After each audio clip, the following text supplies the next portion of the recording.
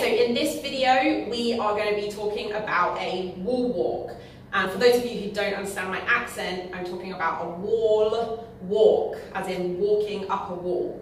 So this is one of my favorite handstand drills. It's one of the best ways to start strengthening the shoulders and to start getting more confidence in an upside down position, but also get to a point where you can do more advanced handstand drills. Um, lots of people love to just kick up onto a wall and we tend to get into a really bad body position. So uh, when working on handstands, we want to get with our chest to the wall that's really hard to do though initially because most people don't have enough strength in their arms and in their shoulders. So this exercise is going to help you do that.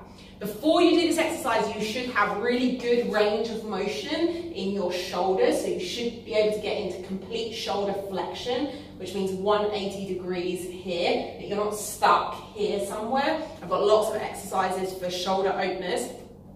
And you should also be able to have a lot of weight on your hands and on your shoulders. So we start with downward facing dogs, like in yoga, and then we move up to elevating our feet so that we can get more weight onto our hands and our bum directly over our hands. And I have a separate tutorial for that. So this is the next level um, where we're getting even more weight onto our hands and we're getting ourselves into more of an upright position.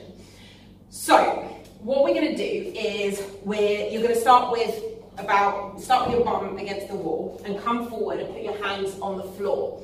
Then you want to get your, your feet up on the wall and your weight onto your hands. So it looks like this.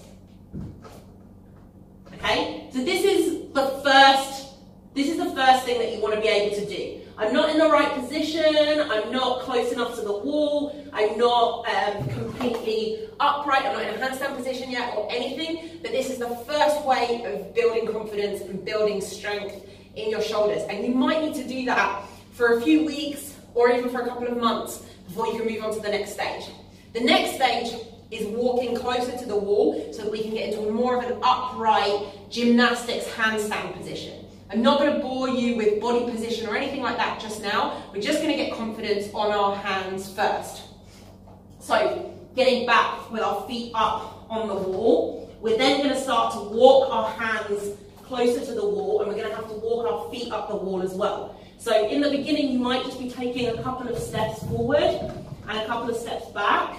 But once you get, as you get more confident, so you might just be taking a couple of steps and that's all you can do, that's fine. The closer you get to the wall, the harder it is. Your goal over a month or two is to get as close as you can to the wall with your chest. So this is the goal I'm going to show you. Get onto your hands and then to walk back, one hand, then the other, and keep on walking until you're nice and close to the wall. And then you want to try and point your toes. Okay? We won't worry too much about body position in this point. Just try and get with your hands over your shoulders, over your pelvis, over your hands, everything in a nice straight line with your hands as close as you can to the wall with enough, um, with enough fuel in the tank to walk your hands away from the wall and not just fall down. One, another way out of it is to do this. Walk your way up to the wall, and you can always come down from the side. If you feel comfortable doing that, then it's best to leave a little bit of, um, of um, fuel in the tank, a little bit of energy in your arms, a little bit of strength left in your arms, so that you can walk away and control yourself down slowly. Now, if you're a gymnastics expert, this is just something I want to say at, at the end. I am not a handstand expert. I'm, I've, I've, picked it up through CrossFit and through some gymnastics, gymnastics classes that I've done throughout the years. So if you are like this amazing gymnastics expert and this amazing handstand expert, then I know my technique isn't perfect.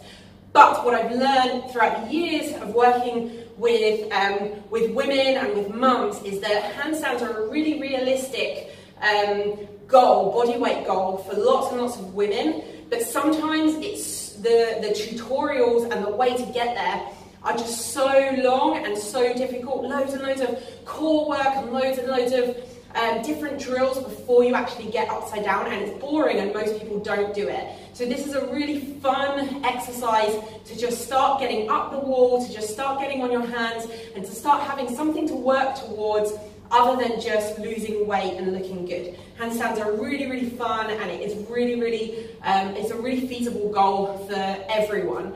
So with that, that was my one of my favorite handstand drills, which is a wall walk, walking up as close as you can to the wall.